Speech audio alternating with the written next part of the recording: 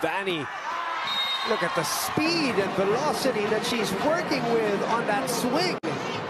That was a free ball already, so expect a, a bomb from the HD Spikers. And uh, whew, kanina pa si Vanie.